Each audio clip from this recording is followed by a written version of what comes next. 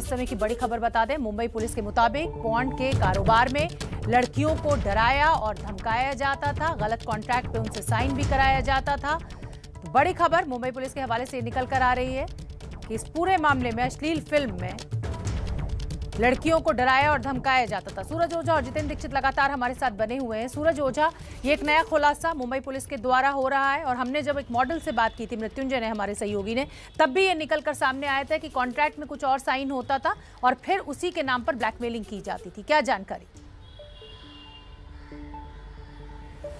जी, बिल्कुल ये पूरा जिस तरह से आरोप लगे हैं, जिस तरह से की बात सामने आई है, उसके मुताबिक तो यही है कि इसमें जो विक्टिम्स हैं, उनको पहले कॉन्ट्रैक्ट साइन कराया जाता था, उन्हें कुछ और कॉन्ट्रैक्ट साइन कराया जाता था, उसके बाद जब वो सेट पे जाती थी, उन्हें न्यूड सीन शूट करने के लिए जब कहा जाता था, और जब लड़कियाँ इसको शूट करने से मना करती थी तो उन्हें, उनका वो कॉन्ट्रैक्ट दिखाया जाता था, उसमें बताया जाता था कि आप हमारी कई बातों को मानेंगी, और अगर आप ऐसा नहीं करेंगी तो आप पर लीगल एक्शन लिया जाएगा तो लीगल एक्शन का डर दिखाकर उनसे ये सब शूट कराया जाता था।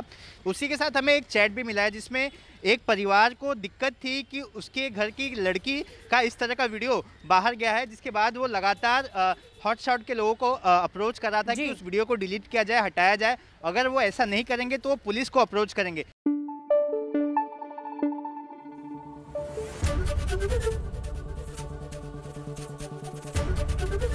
एबीपी न्यूज़ आपको रखे आगे।